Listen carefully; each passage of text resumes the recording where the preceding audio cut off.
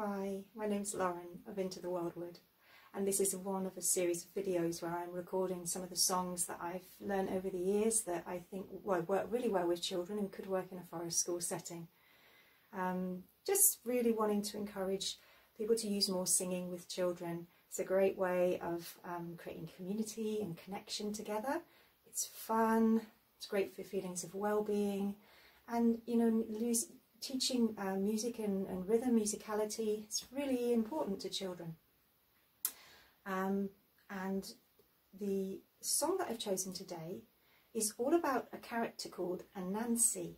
And Anansi is a character that comes from West Indian and Caribbean stories and um, culture and storytelling. And he, yes, a spider, a trickster, a real trickster character.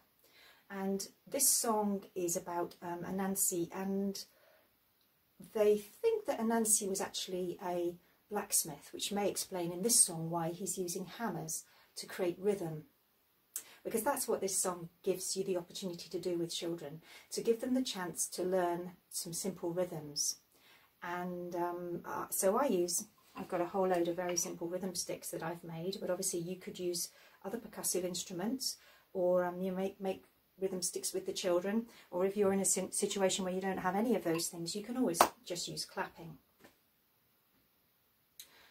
So, yes, I think the best way to teach this song is just to sing it because it's one of those songs that repeats over and over and over, but in each time you repeat it, there's a different challenge in terms of the, the number of beats.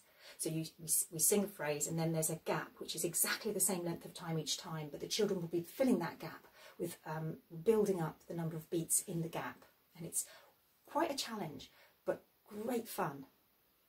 I'm just going to go for it.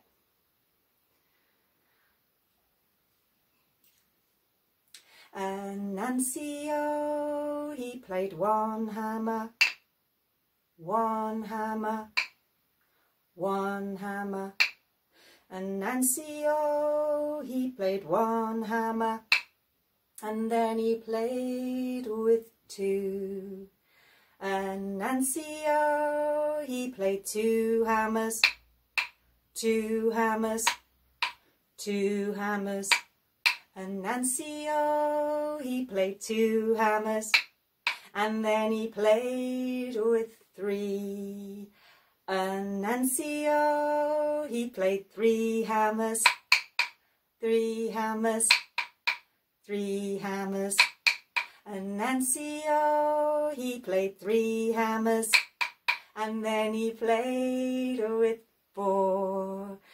Anansi, oh, he played four hammers, four hammers, four hammers. Nancy, oh, he played four hammers, and then he went to sleep. Oh, come on, Nancy, wake up, we've got a song to do. Anansi, oh, he played four hammers, four hammers, four hammers. Anansi, oh, he played four hammers. Then he played with three. And Nancy, oh, he played three hammers.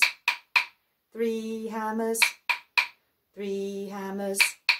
Anansi, oh, he played three hammers. And then he played with two.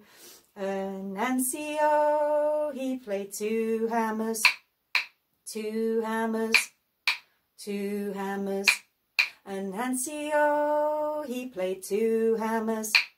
And then he played with one. Oh, he played one hammer, one hammer, one hammer. Anansi, oh, he played one hammer. And then he had a rest. Or some other way you want to finish that song. So you can see it's it's challenging if you've got a group of you to all get the rhythm at the same time. But I have seen, uh, I've done this with half a class of year twos and every single one got it absolutely bang on.